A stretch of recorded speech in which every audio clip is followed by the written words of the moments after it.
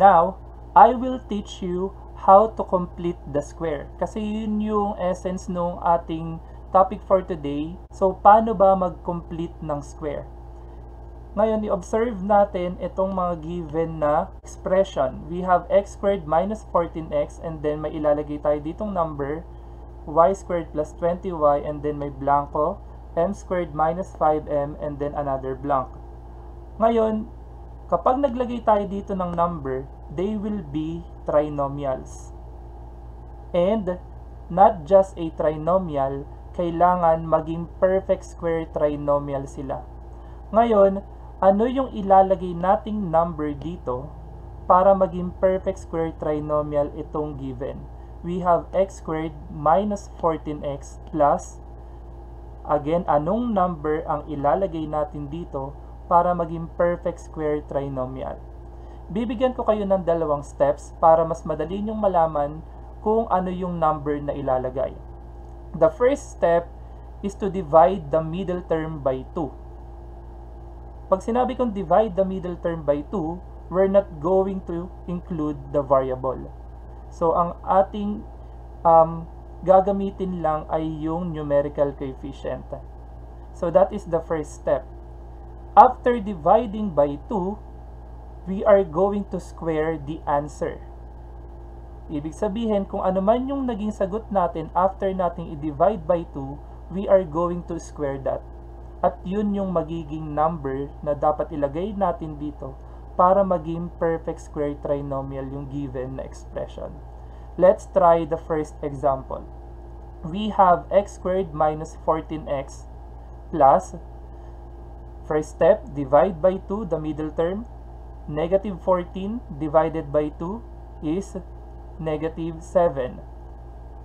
And negative 7 squared because that is our second step. So the answer will be 49. Again, 14 or negative 14 divided by 2, negative 7. Negative 7 squared is 49. So the answer here is 49. Next, y squared plus 20y plus So, anong i-add natin? Again, first step, 20 divided by 2, which is 10. Second step, square the answer. 10 squared is 100. So, the answer here is 100. The last example, we have m squared minus 5m plus ngayon kung mapapansin nyo, yung 5 is not divisible by 2. Kasi kung i-divide natin siya by 2, magkakaroon tayo ng decimal.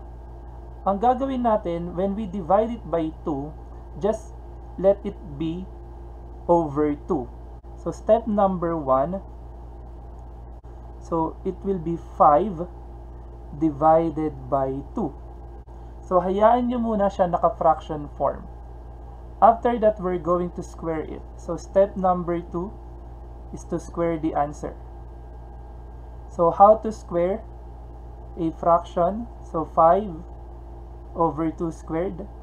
So we are just going to square the numerator and then square also the denominator. So 5 squared is 25 and 2 squared is 4. And that will be our answer here. So 25 over 4. In completing the square, remember, it is always positive. So, never po tayo magkakaroon ng minus 49, minus 100, or minus 25 over 4. So, it is always positive. Lagi po siyang add. Kasi pag kumukuha naman tayo ng square ng isang number, it is always in positive. Now, after nating makomplete yung square, so let's try to factor. I-factor natin siya to make sure na ito ay perfect square trinomial. Kasi nga ang ating goal dito, when we say complete the square, we are going to make the expression a perfect square trinomial. So ano ba ang sagot dito? We have 14 or negative 14 ang sum and then ang product niya ay 49. We have here minus 7 and then minus 7 because negative 7 plus negative 7 is equal to negative 14. Negative 7 times negative 7 is 49. Next, we have y plus 10 y plus 10. 10 plus 10 equals to 20. 10 times 10 is equal to 100. Okay, here, medyo parang magiging mahirap sa mga student kung kukunin natin yung sum neto na kapag pinag-add mo ay 5 and then kapag pinag-multiply mo ay 25 over 4. Itong technique na ituturo ko sa inyo is only applicable kapag perfect square trinomial. Okay? So, itong technique na ituturo ko is for this particular topic lang. Paano ma-factor ma nyo ng mas mabilis? Dahil alam naman natin na ito ay perfect square trinomial, all you have to do is to get the square root of the constant.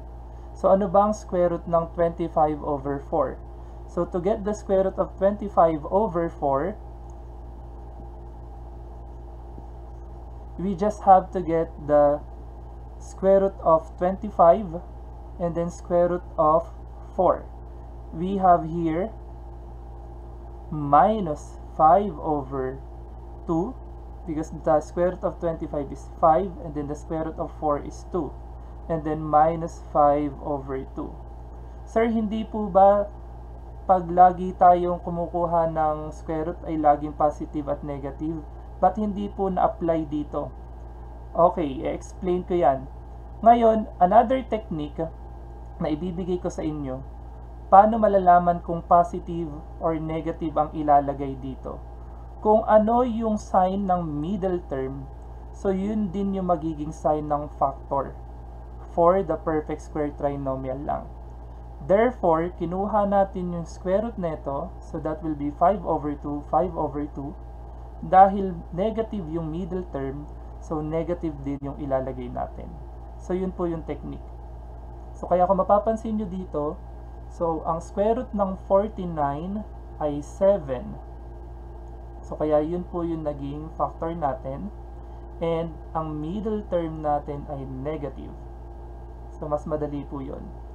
Ang square root ng 100 ay 10 at ang middle term natin ay positive kaya naging positive. Again, we can still simplify this by writing x minus 7 squared. This one will be y plus 10 squared m minus 5 over 2 squared. And that's how you complete the square and at the same time we factor it already.